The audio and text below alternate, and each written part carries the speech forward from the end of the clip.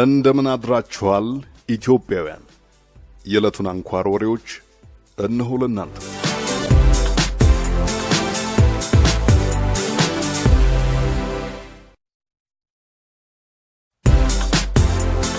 የተባበሩት መንግስታት ድርጅት የንግድና የልማት ጉባኤ ከ2017 ጀምሮ እስከ 2024 ባለው የፈረንጆቹ ዘመን ከነበሩበት ዝቅተኛ የኢኮኖሚ ደረጃ ወጥተው መካከለኛ ገቢ ወዳላቸው ሀገራት ይገባሉ ያላቸውን 16 ሀገራት ይፋ የሚያደርግ ሪፖርት አውጥተዋል። በመልካም የኢኮኖሚ እድገት ላይ ናት የምትባለው ኢትዮጵያ ግን ከተዘረዘሩት ሀገራት ውስጥ የለችበትም። በሪፖርተር ዘገባ መሰረት ከሰሞኑ ይህ ሪፖርት በአዲስ አበባ በተባበሩት መንግስታት ድርጅት የንግድና የልማት ጉባኤ የአፍሪካ ቀጠና ኃላፊ ጆይ ካቴጌከዋ በኩል ይፋ ሲደረግ ያላደጉ ተብለው ከተፈረጁ 48 ሀገራት ውስጥ አፍሪካውያኑን አንጎላና ኢኳቶሪያል ጊኒን ጨምሮ አንድ ሌላ ሀገር በቅርቡ መካከለኛ ገቢ ወዳላቸው ሀገሮች ረድፍ ይቀላቀላሉ። ሌሎች 13 ሀገራት ደግሞ ከ2021 ጀምሮ እስከ 2024 ባለው ከነባር ደረጃቸው ከፍ ብለው የመካከለኛ ገቢ ሀገራት ደረጃን ያገኛሉ። ከእነዚህ ሀገራት መካከል ጎረቤት ሀገር ጅቡቲ ያለችበት።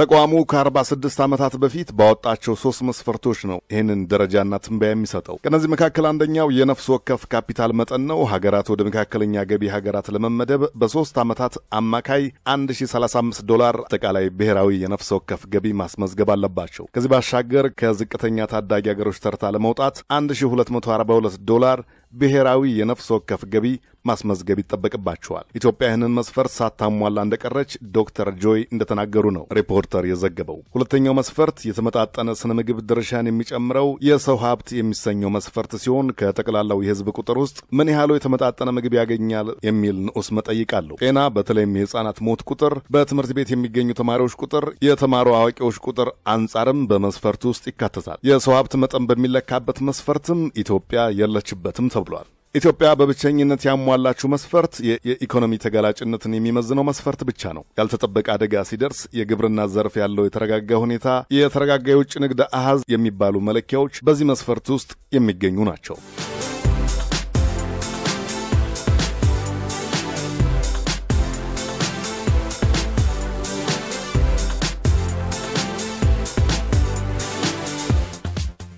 ቀጣዩ ዘገባ የሊቢያን ክፍል በያዘው የአይሲስ ወይንም የእስላሚክ ስቴት ቡድን ታግተው ስለነበሩ ኤርትራውያን ሮይተርስ ትናንት ያሳየው ዘገባ ነው። የቡድኑ ሌላኛ መጠሪያ ዳኢሽ ነው። ሕይወት በዳኢሽ እጅ ውስጥ ዘግናኝ ነው። መፈጠራችሁ እንድትጠሉ የሚያደርግ ነው። ስለ ባርነት የምናውቀው በታሪክ ብቻ ነበር። በኋላ ግን የሕይወታችን ክፍል ሆኗል። ለእስላሚክ ስቴት እንደ ባሪያ ሆነው ለወራት ከቆዩ በኋላ የሊቢያ ኃይሎች ሰርት በተባለች ቦታ በታጣቂ ቡድኑ ላይ ጦርነት ባወጁበት ወቅት እነኚህ ኤርትራውያን ስደተኞች ለማምለጥ ወሰኑ። እኔ ሰላም ገብረ ኪዳን ነኝ። የምዘግበውም ከሊቢያ ሰርት ነው። ሴቶቹ ጂሃዲስቶቹ ወደ እስልምና እምነታቸውን እንዲቀይሩ እንዳስገደዷቸው ነግረውኛል። በመቀጠል ደግሞ ወደ ወሲብ ባሪያነት ቀይረዋቸዋል። እንደነገሩኝ አጋቾቻቸው በተደጋጋሚ ደፍረዋቸዋል። እንደ ቁስ ነበር ሲቆጥሯቸው የነበረው። እርስ በርስ ይሻሻጡባቸዋል፣ እንደ ስጦታ ይቀባበሏቸዋልም። ለማምለጥ ሲሞክሩ ተዋጊዎቹ ሴቶቹን ተለዋውጠውባቸዋል። እኔን የወሰደ ሰው አዛዥ ነው። ስሙም ካካ ይባላል። እንስሳትን እንደሚጠቀምባቸው አይነት ነበር የሚጠቀምብኝ። አንቺ ምንም መብት የለሽም፣ የእኔ ባሪያ ነሽ ይለኝ ነበር። አንቺ ከፈጣሪ የተሰጠሽ ስጦታዬ ነሽ፣ እኔን ለማናገርም ሆነ እኔን ለመጠየቅ መብቱ የለሽም ይለኝ ነበር። ለማምለጥ ከቻሉ በኋላ ደግሞ ሕይወታቸው ሌላ አስከፊ መልክ ያዘ። ይህ ምስል ሦስት ሴቶች ለሊቢያ የጦር ብርጌድ እጃቸውን ለመስጠት ሲጠጉ የሚያሳይ እንደሆነ ይታመናል። ወታደሮቹ ሴቶቹን በእስላሚክ ስቴት ቡድን ውስጥ ተሳትፋችኋል በሚል በመቀጠል አስሯቸዋል። ይህ አዛዥ ሁለተኛውን የሴቶችን ቡድን የተቀበለው ነበር። ተቀጣጣይ ፈንጂ ያለመታጠቃቸውን ለማረጋገጥ የለበሱትን እንዲያወልቁ ጠይቀናቸዋል። በመቀጠል ውሃና ምግብ ሰጠናቸው። የት እንደነበሩና ወዴት እየሄዱ እንደሆነ ለማወቅ ጥያቄ አቅርበንላቸዋል። አሁን ከሌሎች ሰባ ሴቶች ጋር በመሆን ምዝራታ በሚገኘው የጦር ሰፈር ውስጥ ያሉ ሴቶች መጪው ጊዜያቸው በእርግጡ የሚታወቅ አይደለም። ከሴቶቹ መካከል አንደኛዋ ሚኒያ መስመር በ2010 ከአራት ልጆቿ ጋር ኤርትራን ትታ የወጣች ናት። ከ15 ወራት በፊት ሦስት ልጆቿ ወደ አውሮፓ በተሻገሩበት አፍታ ተነጣጥላለች። ሚኒያ በምስራታ እስር ውስጥ በነበረችበት ጊዜ እኔ ልጆቿን መገኛ አፈላለግኩ። የሜዲትራኒያን ባህርን በሰላም አቋርጠው በጀርመን ሀገር ውስጥ እየኖሩ ነው። ለሚኒያ መስመር የልጆቿን ፎቶም አሳየዋት። ልጆቼ በሕይወት ይኑሩ ወይንም ይሙቱ አላውቅም ነበር። ምንም ነገር አላውቅም ነበር። የልጆቼ ፊት ምን ይመስል እንደነበረ ለማስታወስ ሁሉ አልችልም። በሕልሜያቸው እናደስታለሁ። ስነቃ ግን አሁንም ከዳኢሾች ጋር መሆኔን አያለሁ። ይሄ የእኔ ሕይወት ነበር። አሁን ግን የልጆቼን ፎቶ አይቻለሁ። የሚኖርበትንም አውቄያለሁ። እግዚአብሔር የተመሰገነ ይሁን። የኤርትራውያን እህቶቻችንን አሰቃቂ ክራሞት ሮይተርስ እንዲያቀርቦታል። ለመሆኑ በእስላሚክ ስቴት ቡድን በተያዘው የሊቢያ ክፍል ውስጥ የኢትዮጵያን ዕጣስ እንዴት ሆኖ ይሆን?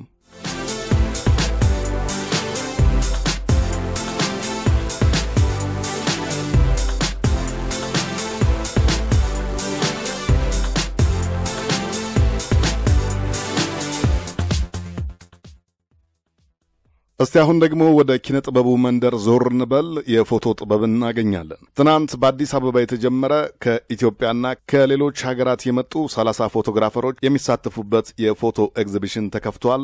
አዲስ Foto Fest የተሰኘውን ይህንን ኤግዚቢሽን የጀመረችውና የምታስተባብረው ፎቶግራፈር አይዳ ሙሉነ ናት። አይዳ በምዕራባውያን ዘንድ በጨለምተኛ አገላለጽ የምትገለጸውን አፍሪካን ኢትዮጵያን ጨምሮ በተለየ አይን የማሳየት እቅድና ፍላጎት ይህንን መሰል ኤግዚቢሽን ለማዘጋጀት እንዳነሳሳት በተለያዩ ጊዜያት ትገልጻለች። አይዳ በግሏ በምትሰራቸው የፎቶግራፍ ማንሳትና የማስተማር ስራዎች ኢትዮጵያን በብርሃን አይን ለማሳየት በምትጥርበት ጊዜ ታዲያ አንዳንዴ ከመንግስት አካላት ያልታሰቡ ክልከላዎችና ገደቦች ገጥመዋት እንደነበረ ለአጃንስ ፍራንስ ፕሬስ ተናግራለች። በተለይ ደግሞ የምታስተምራቸው ልጆች ለልምምድ ወደ ተለያዩ የአዲስ አበባ ከተሞች ወጣ ባለው ቁጥር በፖሊሶች በተደጋጋሚ የመስተጓጎል ዕጣ እንደገጠማቸው አብራርታለች። ትናንት በተጀመረው የአዲስ Foto Fest ላይ ቀድመን ስራችንን እናሳያለን ብለው የነበሩ አንዳንድ ኢትዮጵያውያን ፎቶ አንሺዎች ሀሳባቸውን ቀይረዋል። ምክንያቱ ደግሞ ከአስቸኳይ ጊዜ አዋጁ ጋር አንዳንድ ስራዎቻችን በአንድም ሆነ በሌላ ተጣርሰው ቢገኙ ጦስ እንዳይከተለን ከሚል ስጋት ሳይሆን እንዳልቀረ አይዳ በገደምዳሜው አሳውቃለች። ያሉትን ፎቶግራፈሮች ይዛ አይዳ ከትናንት ጀምሮ ለቀጣይ አምስት ቀናት በሸራተን አዲስ Luxury Collection ትገኛለች። ጊዜና እድሉ ያላችሁ እንድትጎበኙ ተጋብዛችኋል።